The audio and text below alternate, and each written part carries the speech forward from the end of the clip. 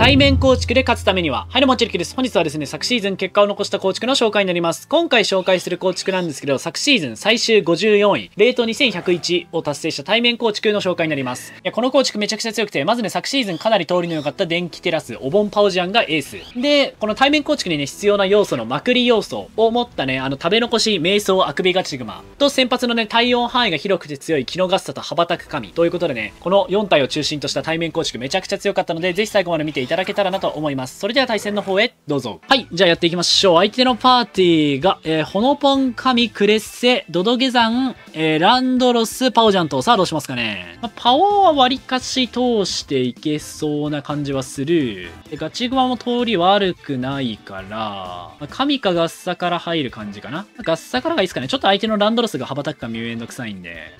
で、ガチグマパオジアンとかでいいんじゃないでしょうか？え、めっちゃ強くね？これ。そうだね。これでいきましょう。はい、対戦よろしくお願いします。さあ、相手の先発ランドロス。あー、まあまあまあ、かもなく不可もなくぐらい。まあ、負荷はあるか。負荷はあるか、一応。いや、どうしよっかな。よくはない対面なんだけど。うーん、星から入る？嫌なのがね、スカーフランドのトンボ帰りからオーガポン展開が嫌なんですよね。ちょ、一旦岩石封じから入ろうか。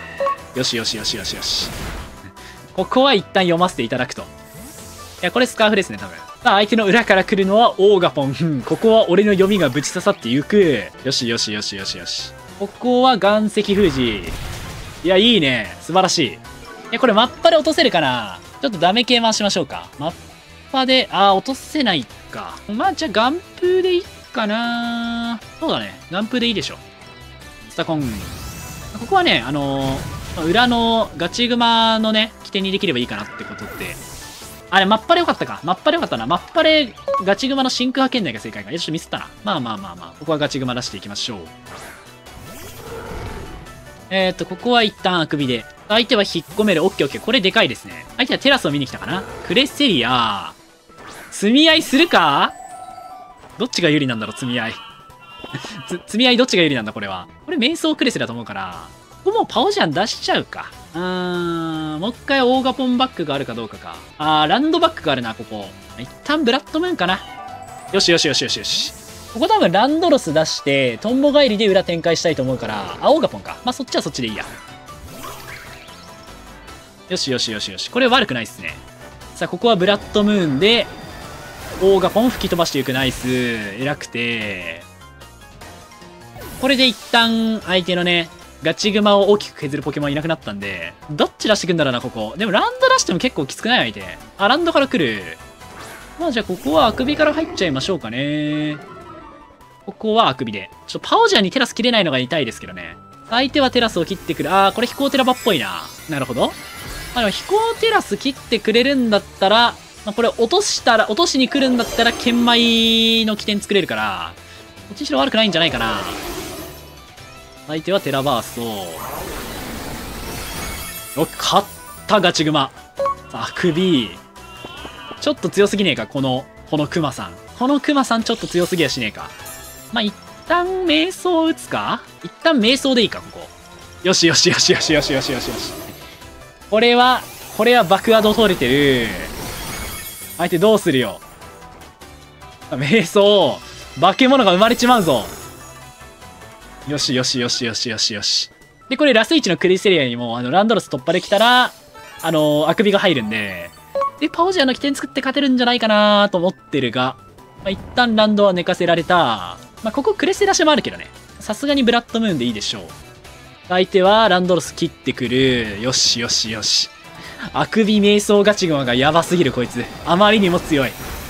は は当然ランドロス、エースランドロスごときね、吹き飛ばしていくと。素晴らしい。いやー、ほぼ勝ってるんじゃないかな。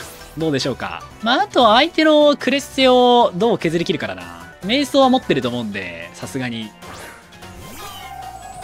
まあ、ここはあくびから入りましょう。あ、高3、OK。はい、対戦ありがとうございました。瞑想じゃなかったんかもね。チャンネル登録、高評価、よろしく。はい、じゃあやっていきましょう。相手のパーティーが、えー、叫ぶ尻尾、えー、とどろく月、ウーラオス、ガチグマ、サーフゴを、えー、オーガポンとさあどうしますかね。ウーラからね、オーガポンの流れがめんどくさいんで、ここは幅紙から入ります。神しょってガチグマ、パオジアン。これでいいんじゃないかな？うん、これでいきましょう。はい、対戦よろしくお願いします。さあ、相手の先発叫ぶ尻尾。オッケー。これは挑発を刺していけるはず。さすがにね、叫ぶ尻尾を耐久に咲きたいと思うんで、ここは上から挑発をぶっ刺していきたいところ。ここは挑発で。まあ、電気玉投げつけるギリあるんだけど、まあ、ステロ任せないのも結構大事なんで。相手は？メンタルハーブか。はいはい。まあまあ、それはあるね。電磁波。はいはい。はいはいといったところか。まあ、じゃあ、ステロ巻かれますかね。まあ、これはじゃあ、ステロは受け入れましょう。ここは電磁波で。デルスロック。しょうがない、これは。メンハね。まあまあ、そうね。だいたい叫ぶ尻尾メンハか、まあ。もう、いっていってマジでいってマジで電磁波俺も使ってんだけど。マジカルシャイン。これは全然削れないからいいんだけど。電磁波。完全にミラーだな。ここはたたり目でいいんじゃないかな。マジっしょ。え？ん？ど、同速？これ。まさかの同速？ど、同速かこれ。え？そう、お互い麻痺が入って、同速か。マジか。えっと、まあ、ここはじゃあ、まあ、一応ムーンフォースとか。動けない。ここアンコール打たれてたらやばかったからでけえ。よしよしよし。ここはムーンフォースでしっかり叫ぶ尻尾突破。まあまあまあ、多少テンポ取られたけど、まあそこまで悪くないんじゃないかな。相手の裏から出てくるのは、とどろく月。まあそんな気はしていた。いやー、エナジーねさすがになんか、挑発ないですか、まあ、テラスは絶対切ってくる。で、飛行テラスだと思うんだよ。飛行テラスで、挑発化でも身代わりあるよな。さすがにこんなん。まあ、ムンホから入ろうかな。身代わり OK。危ねえ。よしよしよしよし。ここはね、さすがに、身代わり。よしよし、動くの偉い。身代わりと電磁波やっぱ相性いいですからね。一応ガチグマがね、ストッパーにはなれると思うんだけど、それでもこれはありがたい。ここはムーンホース連打しちゃいましょう。身代わり。やるね、相手ね。やってくるね。動いて。ナイス、偉すぎる？偉すぎる？羽ばたく髪いや、どうしよっかな。これでも、裏のガチグマもあんまり身代わり付き得意じゃないから、どっかで挑発打っちゃった方がいいか。身代わり。挑発、挑発打っちゃった方がいいな。偉い。偉すぎる羽ばたく髪。だってここもう一回相手身代わり打ってこない？これ身代わり打つじゃん。で、ここ挑発させば、ジャポの実で倒せるみたいな。挑発で。身代わり。ちょっと頼む、頼む、頼む、動いて、動いて。ここ動いて、ここ動いて、マジで。ここ動いてください。お願いします。はい。いやーいや、まあ、ここ、竜舞打ってくるんならいいや。竜舞なら大丈夫。竜舞ならまだ大丈夫。テラスを切ってくるよね、わかる。まあ、多分飛行だから、羽休めないと嬉しいんだけどな飛行テラスはめちゃくちゃわかる。でも羽休めだったら逆にね、電気テラスパウジャーに打点がないと思うんだよね。アクロバット。あっち、あ、アクロバット？それはちょっと、ジャポのみで、さようならじゃないか？うおー、来たー ジャポのみぶち刺さってゆくテラスも切らせて、さらに、で、2体も、2体持っていくと。えぐすぎる羽ばたく神の仕事量。さよならさよなら ジャポぶっ刺さったな。えー、で、これどっちから入るか難しいな、結構。うーん、ま、テラス切ってるから、うーん、研磨されなかったら勝てるか？あー、また最速ウーラオスだけまだ負けれるか。最速鉢巻きウーラが結構負け筋かもな。さすがにクマさんから入りましょうか。相手のラストウーラオス。あー、なんかワンチャンありそうなの来たな。嫌だな。水浦。いやー、どうしよっかな。まあ、あくびからが安定かな？そうだね。あくびから入りましょうか。インファイト。鉢巻きだーえ、これ耐えるパオジアン。鉢巻きだな。さすがに鉢巻きだろ。ガチゴマかなり耐久咲いてるから。いや、まあでも、陽気じゃなかったら、陽気ならギリ耐えそうだし、陽気じゃなかったらそもそも上取れてるから、どっちにしろ勝てるみたいな話なんじゃないでしょうか。さあ、遅延パオここは電気テラバーストをもう素直に打っていきましょう。いや、毒テラス切ってたら勝ちだったけど、まあこれはしょうがないな。ここは、電気テラス。インファイト耐えてほしいところ、まあ相当 HB に割いてるんでね、このパワージャン。悪事？あ、なんだ？勝ち負けじゃないんか。さあ、むしろお盆を食べて回復していく。オッケーオッケー。相手悪事選んだ。